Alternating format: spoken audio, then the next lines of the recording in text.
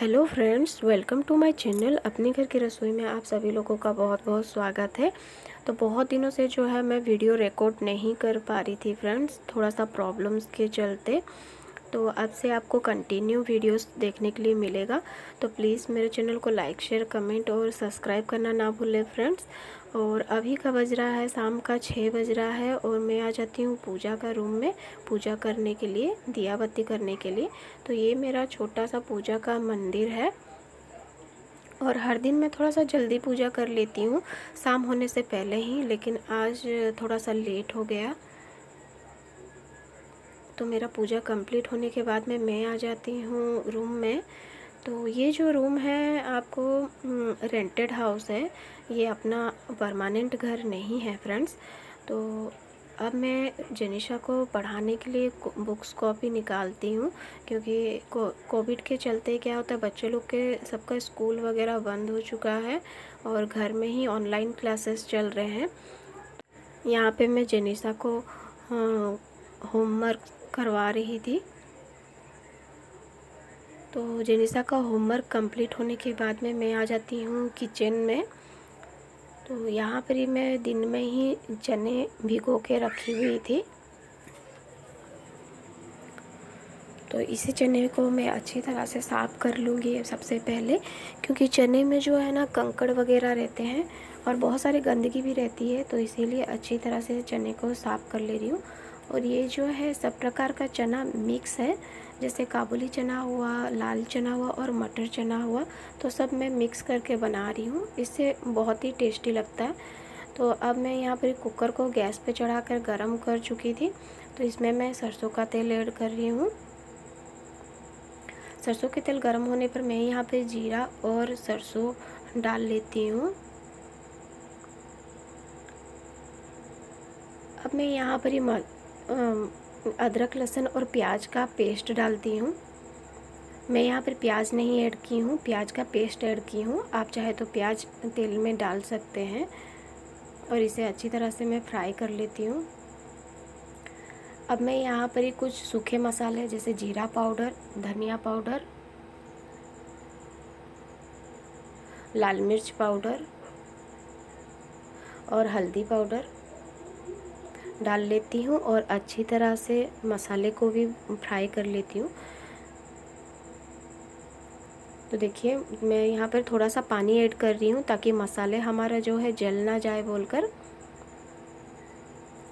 तो इसे भी अच्छी तरह से हम लोग मिक्स कर लेंगे।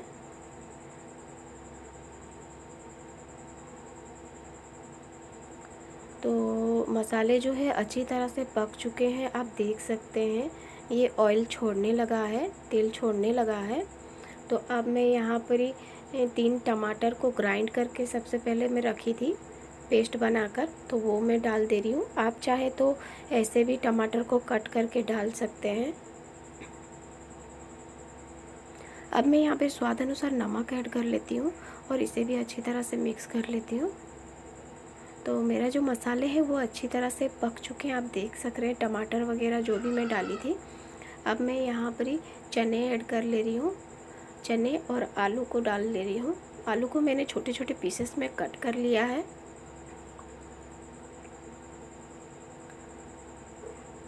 और इसे भी मैं मसाले के साथ में थोड़ी देर के लिए फ्राई करूँगी।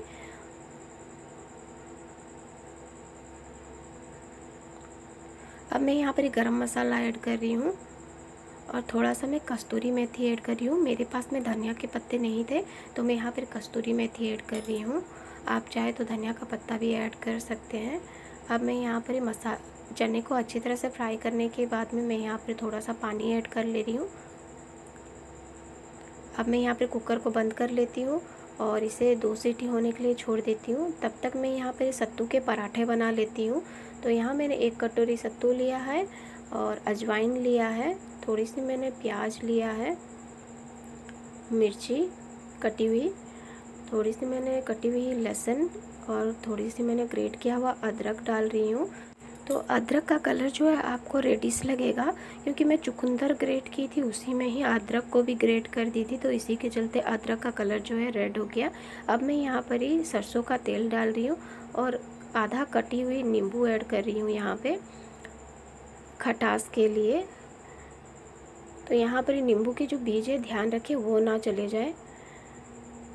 अब मैं यहाँ पर स्वाद अनुसार नमक ऐड कर लेती हूँ।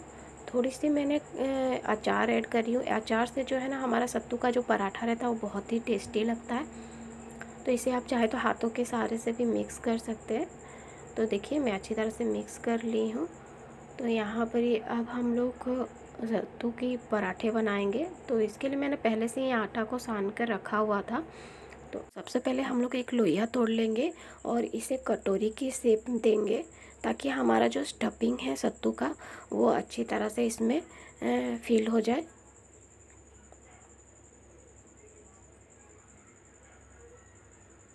तो ये देखिए, इस तरह से हम लोग इसे स्टफिंग को भरना है और चारों तरफ़ से इसे क्लोज़ कर लेना है ध्यान से ताकि ये हमारा फट के बाहर ना निकले।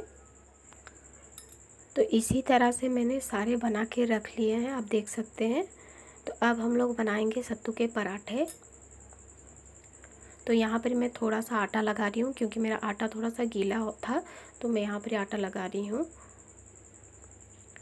और इसे अच्छी तरह से हम लोग सेप दे देंगे। तो आप ध्यान से देखिए, मेरा सत्तू जो है, फिर जो किए थे हम लोग, वो बिल्कुल भी बाहर नहीं निकल रहा, ना ही फट के। और इसे अब हम लोग अच्छी तरह से सेक लेंगे दोनों तरफ़ से। तो यहाँ पे मैं रिफ़ाइंड ऑयल का इस्तेमाल कर रही हूँ। आप चाहे तो घी का भी इस्तेमाल कर सकते हैं, बटर का भी इस्तेमाल कर सकते हैं। लेकिन मैं यहाँ पे रिफ़ाइंड ऑयल का इस्तेमाल कर रही हूँ, क्योंकि जेनिसा को घी बिल्कुल भी पसंद नहीं है। तो इसे हम लोग दोनों तरफ़ से, अच्छी तरह से हम लोग को सेक लेना है। तो देखिए, हमारा सत्तू पराठा बन के तैयार हो गया है। तो मैं यहाँ पर प्लेट में निकाल ले रही हूँ, फ्रेंड्स।